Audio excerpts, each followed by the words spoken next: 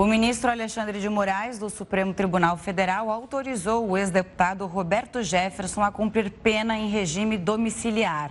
Ele vai deixar o presídio de Bangu 8 e cumprir a pena em casa. A defesa de Roberto Jefferson alegou que o quadro de saúde do ex-parlamentar está fragilizado. Ele chegou a ser liberado na semana passada para fazer exames. Roberto Jefferson está preso desde agosto por suspeitas de ataques a instituições democráticas.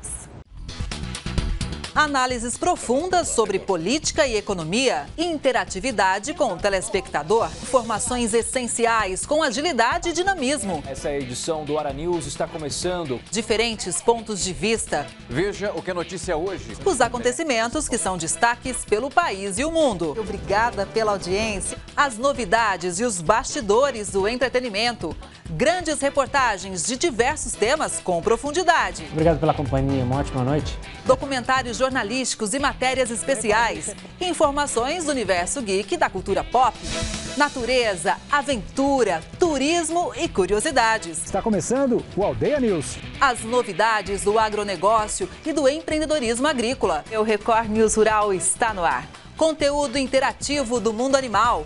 Record News, informação relevante e de qualidade 24 horas por dia.